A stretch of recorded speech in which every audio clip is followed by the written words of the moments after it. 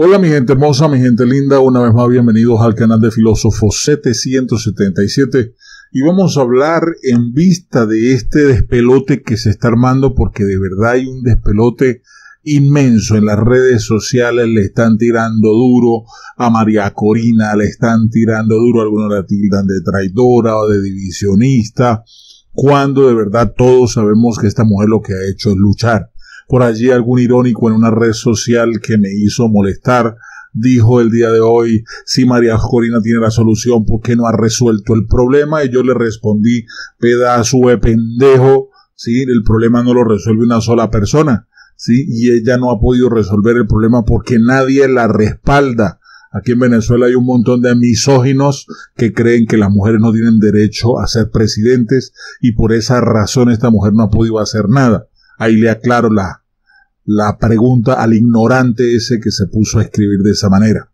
Bien, siguen los rollos abiertos, sabemos, vuelvo y repito, tengo por buena fuente de que Capriles está haciendo sus movimientos en miras a que Maduro le quite la inhabilitación.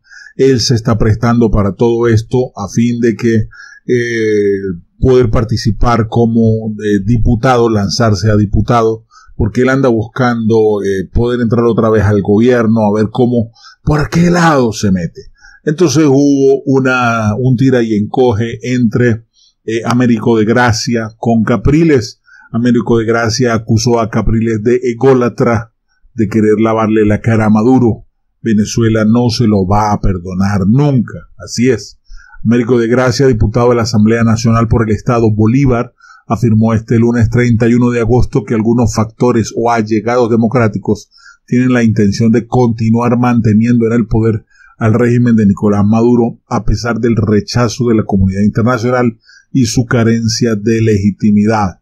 Tengo la ligera sospecha de que nadie puede chuparse los dedos, de que detrás de esto quien pretenda lavarle la cara a Maduro es nada más y nada menos que quien fue nuestro candidato presidencial dos veces, Enrique Capriles.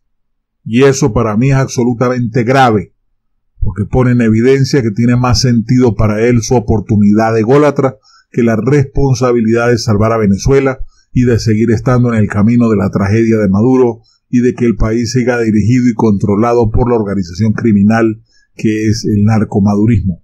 Eso no se lo va a perdonar Venezuela nunca al señor Capriles, expresó Américo de Gracia y lo secundo y lo apoyo y estoy de acuerdo.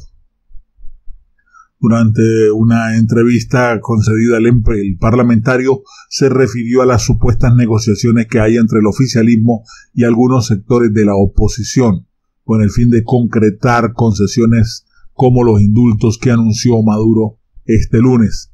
En, en días pasados, Capriles Radosky cuestionó las bases del llamado para la construcción de una nueva alianza opositora para enfrentar el oficialismo que hizo el presidente interino Juan Guaidó.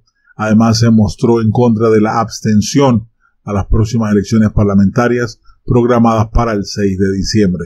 Recordemos que Capriles tiene como consigna llamar a la gente a votar, al igual que la traidora de Lady Gómez, gobernadora del Táchira, quien también está de acuerdo con salir a votar, a unas sabiendas de que por decreto ya el 52% de las elecciones las ganó el PSUV sin haber participado, porque lo establece la nueva, el nuevo, la nueva ley interna del CNE, y aún así estos piensan salir a votar cuando saben que en las elecciones van a recoger el 48% y ese 48% hay un 17% de diputados que no pertenecen a ningún estado y que no van a ser escogidos tampoco adicionalmente allí al, de acuerdo a la papeleta de votos. Todo va a ser una tramoya que ya está cuadrado, numerado, ya hicieron las, los análisis técnicos y llueva una relámpague, lo que la gente va a ir a escoger supuestamente es ese 48%, quedándose Maduro desde ya con el 52%.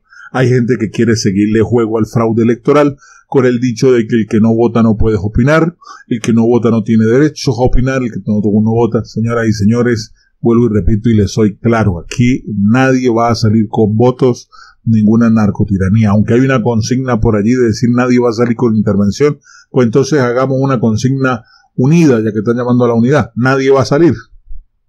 Porque de hecho nadie va a salir a la calle a protestar, nadie va a salir a trancar vías, nadie va a salir, cierto, esa es la idea. Esperemos a que Donald Trump agache el dedo, a que Donald Trump decida dar el paso, eso es lo que ha decidido todos los venezolanos. ¿Sí? Vamos a ver hasta cuándo se cansa Venezuela. Yo creo que no hay mal que dure 100 años ni cuerpo que lo resista. Y bueno, pero por la parte política, pues síganse agarrándose de la greña quien le dé la gana, pero yo no creo que por la parte electoral se pueda encontrar una salida. Son las opiniones personales de este servidor. Así que yo ya no le hago juego a esta gente. El que quiere ir a votar, vaya y vote haga lo que le dé la reverenda gana. Y el que no, simplemente manténgase en sintonía con la resistencia, que la resistencia tiene muy claro que la única manera de conseguir aquí la liberación es a través de la paz, paz, paz, que hay que darle, de las herramientas que deben llegar a la mano de la resistencia. Y bueno, dale parejo, como dijo por allí un locutor. Hasta aquí la información, un abrazo costillas, mil bendiciones para todos.